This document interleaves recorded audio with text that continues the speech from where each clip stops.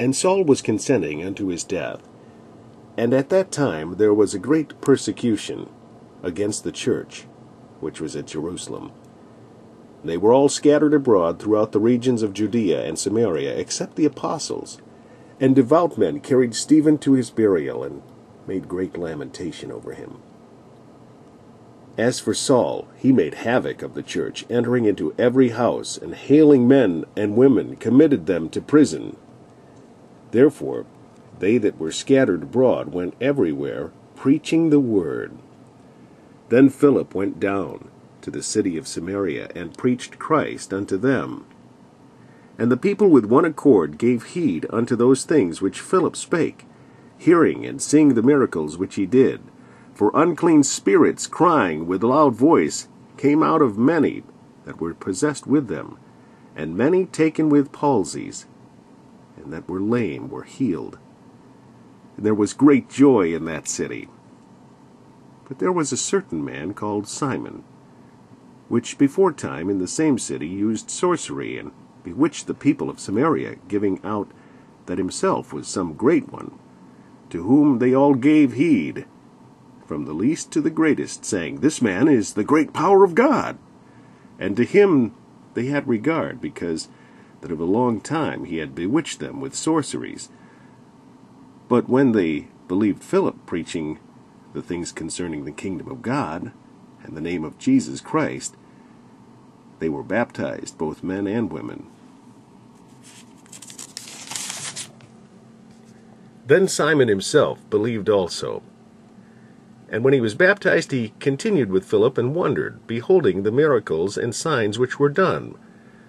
Now when the apostles which were at Jerusalem heard that Samaria had received the word of God, they sent unto them Peter and John, who, when they were come down, prayed for them, that they might receive the Holy Ghost. For as yet he was fallen upon none of them, only they were baptized in the name of the Lord Jesus. Then laid they their hands on them, and they received the Holy Ghost.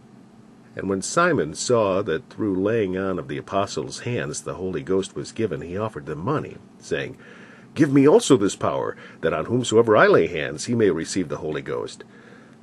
But Peter said unto him, Thy money perish with thee, because thou hast thought that the gift of God may be purchased with money. Thou hast neither part nor lot in this matter, for thy heart is not right in the sight of God. Repent therefore of this thy wickedness, and pray God, if perhaps the thought of thine heart may be forgiven thee. For I perceive that thou art in the gall of bitterness, and in the bond of iniquity.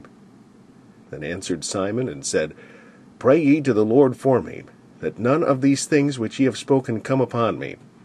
And they, when they had testified and preached the word of the Lord, returned to Jerusalem, and preached the gospel in many villages of the Samaritans.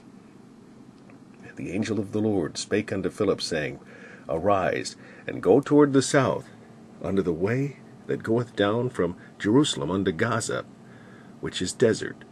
And he arose and went, and behold, a man of Ethiopia, an eunuch of great authority under Candace, queen of the Ethiopians, who had the charge of all her treasure, and had come to Jerusalem for to worship, was returning and sitting in his chariot, read Esaias the prophet.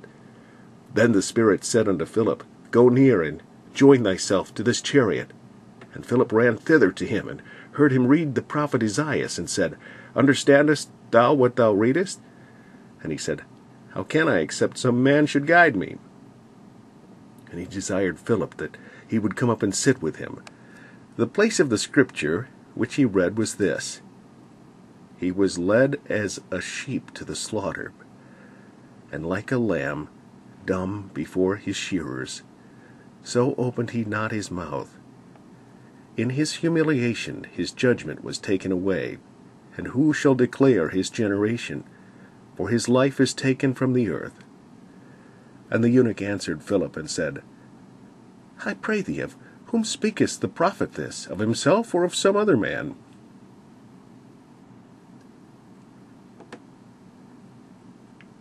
Then Philip opened his mouth, and began at the same scripture, and preached unto him Jesus. And as they went on their way, they came unto a certain water, and the eunuch said, See, here is water, what doth hinder me to be baptized? And Philip said, If thou believest with all thine heart, thou mayest.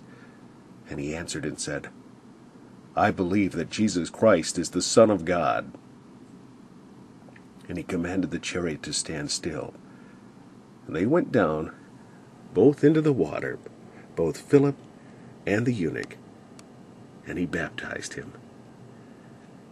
And when they were come up out of the water, the Spirit of the Lord caught away Philip, that the eunuch saw him no more, and he went on his way rejoicing. But Philip was found at Azotus, and passing through, he preached in all the cities, till he came to Caesarea.